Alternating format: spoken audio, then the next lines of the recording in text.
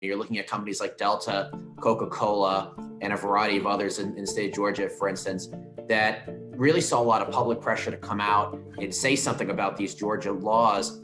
You know, you can go out and say you're not for certain laws, but are, are these companies going to go further and not back certain uh, campaigns now that they're against these laws? Are they going to start ramping up lobbying? We did a story uh, recently about about these companies in Georgia.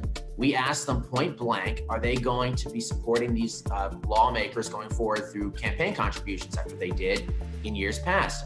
And they did not really commit to doing that. We did the same thing the other day in the key state of Florida where there's also bills that are being proposed in the House and the state Senate.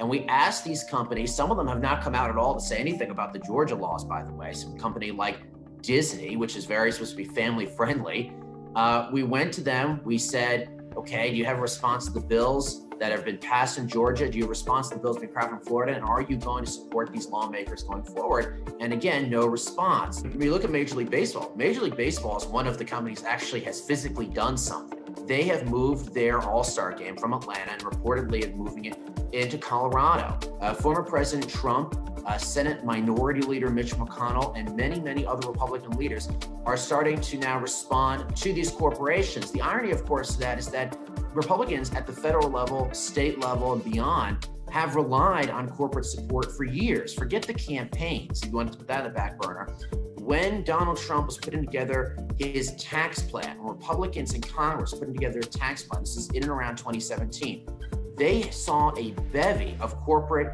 support for that plan. But that has shifted in, in the last year or so as Joe Biden became president, as the political headwinds changed. And I think that's where the pressure is coming from. I think it's coming from the consumers.